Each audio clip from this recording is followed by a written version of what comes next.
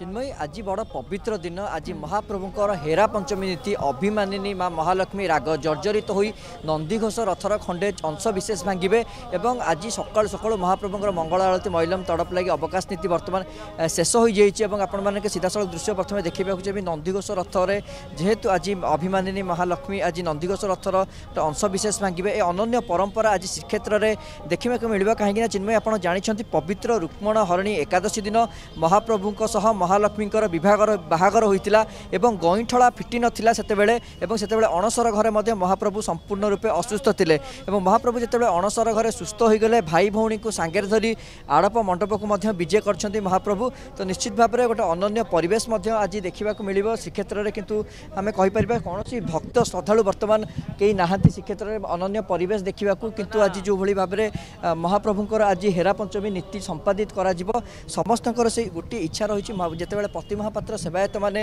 সন্ধ্যা ধূপরে সন্ধ্যা আলতি পড়ে যেতবে মা মহালক্ষ্মী শ্রীমন্দির আসবে বিরাট পাট পটুয়ার আসবে ঘণ্ট ঘণ্টা কাহাড়ি বাজিব সেতবে পতি মহাপাত্র সেবায়ত মানে এই নন্দীঘোষ রথ সম্মুখে মহালক্ষ্মী বন্দাপন করে আমি আলোচনা করা চিন্ময় আমার সহ বিদ্যাপতি অনেক নবকিশোর প্রতিমা পাত্র আজ্ঞা আপনার আজ গোটে গুরুদায়িত্ব কারণ আপনার হি বন্দাপনা করবে কীভাবে রয়েছে সে পরিবেশ সন্ধ্যা আলতি পরে কীভাবে ভাবে পাট পটুয়ার মহালক্ষ্মী আসবে এবং গইঠাল আজ্ঞা ফিটি নাই রুক্মণ হরণী একাদশী বিভাগর সম্পন্ন হয়েছিল গইঠাল ফিটি নাই আজ আপনার ଆପଣଙ୍କର କିଭଳି ଗୁରୁ ଦାୟିତ୍ୱ ରହିଛି?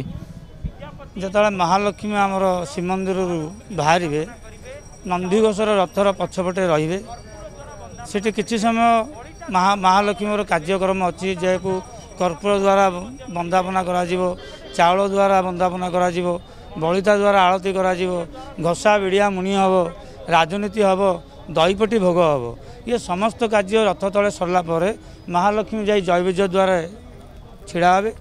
ସେତେବେଳେ ମହାପ୍ରଭୁଙ୍କର ସନ୍ଧ୍ୟା ଧୂପ ଟେରା ପଡ଼ିବା ଅବସ୍ଥାକୁ ଥିବ ସେତେବେଳେ ବିଦ୍ୟାପତି ସିଂହାସନ ଉପରେ ଚଢ଼ି ଏଇ ଯେଉଁ ଆଜ୍ଞାମାଳଟିକି ନେଇକିରି ଆସିବେ। ଆଜ୍ଞାମାଳ ଯେଉଁ ମୁଖ ଚୁମ୍ବିତ ଆଜ୍ଞାମାଳ ଆସିବ ଅଧର ମାଳ ଆସିବ ତା ବିଷୟରେ ଟିକେ ଆମ ଦର୍ଶକ ଜାଣିବାକୁ ଚାହିଁବେ। ଯେତେବେଳେ ଜଣଙ୍କର ପତ୍ନୀ ଆସୁଛନ୍ତି ମହାପ୍ରଭୁ ସଜବାଜ ହେଇ ବହିଛନ୍ତି ମାନେ ୱେଲକମ୍ କରିବା ପାଇଁକା।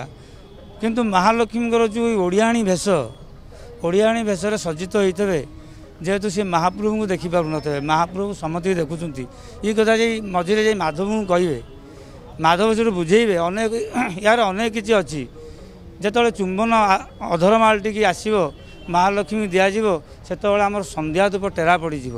ଆହୁରି ଅଭିମାନ ନ କରିବେ। ଯେହେତୁ ମୁଁ ଯାଇଥିଲି ମୋତେ ଦେଖିଲେନି କି କିଛି ପଚାରିଲେନି। ଆଉ କିଭଳି ଭାବରେ ପଚାରିଥାନ୍ତେ ଯେହେତୁ ତାଙ୍କ ଶରୀରରୁ ଆଜ୍ଞାମାଳ ଦିଆଗଲା। ମହାଲକ୍ଷ୍ମୀ ଓଡ଼ିଆଣୀ ଭେଷରେ ଅଛନ୍ତି। ସିଏ ଆଉ ବୁଝି ନ ପାରି ଶ୍ରୀମନ୍ଦିରକୁ ଫେରିଯିବେ। ରାଗ ଜର୍ଜିତ ହୋଇକିରି ଏଇ ନାକଚୁଣା ଦ୍ୱାର ଦେଇ ଫେରିବେ ଏବଂ ଆମର ହେରାଗୋରି ସାଇକି ଯିବେ। ସେଠୁ ହେରାଗୋରି ସାର ବେଳାରେ ମର୍ଚିକୋଡ଼ ଦେଇ ଶ୍ରୀମନ୍ଦିରକୁ ବାହୁଡ଼ା ବିଜେ କରିବେ। ସେତେବେଳେ ଯାଇ ମାଧବଙ୍କୁ କହିବେ। ମାଧବ ଯଦି ବି କହିବେ କହିବେ ଆପଣ ଯେତେବେଳେ ଯାଇଥିଲେ ଆପଣ କିଛି ସଂକେତ ଦେଇ ଯାଇଥିଲେ? ନା ନାଇଁ ମହାପ୍ରଭୁ। ନା ତାହେଲେ ସେ ଜାଣିବେ କେମିତି? ଗୋଟେ ଲୋକ ଖାଇ ବଇଛି। ଯେତେବେଳେ ସେ ସମ୍ପୂର୍ଣ୍ଣ ଭୋଜନ କରିସାରିବ କିଏ ବନ୍ଧୁ ଆଇଛି କି ବାନ୍ଧବ ଆଇଛି ତାକୁ ସିନା ୱେଲକମ୍ କରିବେ। କଥା ହେଉଛି ଯେଉଁ ସ୍ୱାମୀ ସ୍ତ୍ରୀ ଭିତରେ ଗୋଟେ ଝଗଡ଼ା ଦେଖିବାକୁ ମିଳିବ ଓଡ଼ିଆଣୀ କହିପାରେ ଓଡ଼ିଆ ପରମ୍ପରା ହଉ କିମ୍ବା ଯେଉଁ ପରମ୍ପରା ରହିଛି ସ୍ୱାମୀ ସ୍ତ୍ରୀ ମଧ୍ୟରେ ଗୋଟେ ଝଗଡ଼ାର ଦିଗ୍ଦର୍ଶନ ଆଜି ଦେଖିବାକୁ ମିଳିବ। ଝଗଡ଼ାଟା ଆଜି ନୁହେଁ ସେଟା ନୀଳାଦ୍ରି ବିଜୟ ଦିନ ମହାଲକ୍ଷ୍ମୀଙ୍କ ସହିତ ଝଗଡ଼ା ହେବ ମହାଲକ୍ଷ୍ମୀ ଜଗନ୍ନାଥଙ୍କ ସାଙ୍ଗରେ ଝଗଡ଼ା କରିବେ। ଆଜି ନୁହେଁ।